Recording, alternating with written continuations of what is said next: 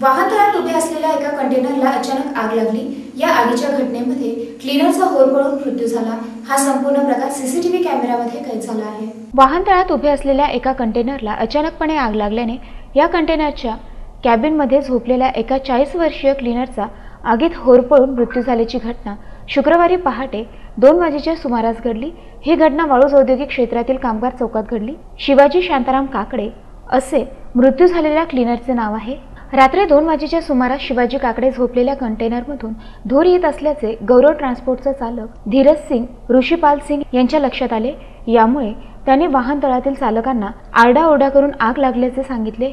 या आगीने रौद्ररूप धारण केले होते. त्यात कंटेनरच्या कॅबिनमध्ये झोपलेला शिवाजी काकडे याचा होर पळून पूर्णपणे कोळसा झाला होता. दरम्यान अग्निशमन दलाने धाव घेऊन ही आग विझवली.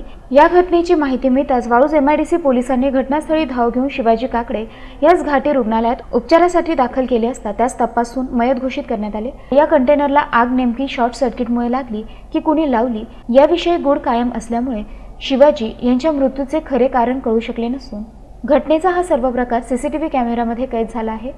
या प्रकरणी पुढील तपास पोलीस हे करत आहेत. या प्रकरणी वाळूज एमआयडीसी पोलीस ठाण्यात अकस्मात मृत्यूची नोंद करण्यात आली असून पुढील तपास सहाय्यक फौजदार गौतम खंडागळे हे करीत आहे